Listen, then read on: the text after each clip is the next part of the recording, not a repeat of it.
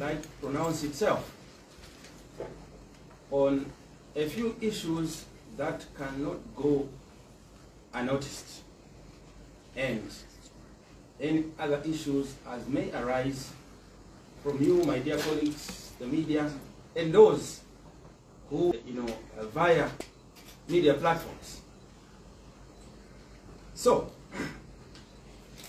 in the interest of time, I'll go straight away to address the issues that we thought that were important for us to have a say. Number one, the nation is aware that uh, only a few days ago,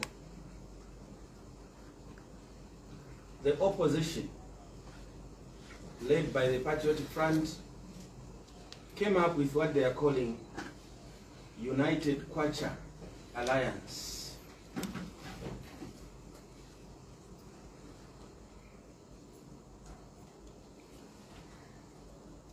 The opposition came up with what they are calling United Kwacha Alliance, which is an alliance, as we have been told as citizens, that is meant to amalgamate the opposition together to face the UPND alliance in the 2026 general elections.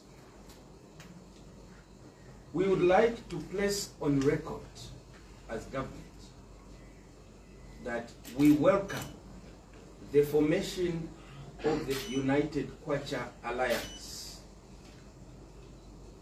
This is a living testament that the democratic space in this country, Zambia, is ever widening. The creation of this United Kwacha Alliance is an indictment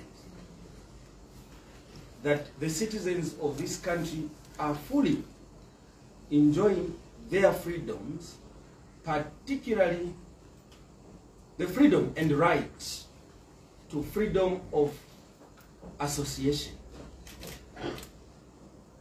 We therefore want to take this opportunity to indicate that government will not stand on the way of the United Kwacha Alliance in its formation and registration processes for as long as they meet the legal requirements of the land. We, as government, have no interest whatsoever to halt the progress of the U UKA in their tracks. So they can go ahead to register their party and the party in government has no interest whatsoever other than appreciating that the democratic space in this country is widening.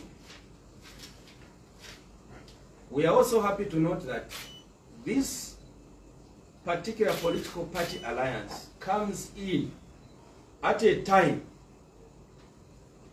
when the same people who are forming this party have been alleging shrinking democratic space in this country. And quite contrary, their own actions have shown that the democratic space in this country is expanding because actions speak louder than words. We recall that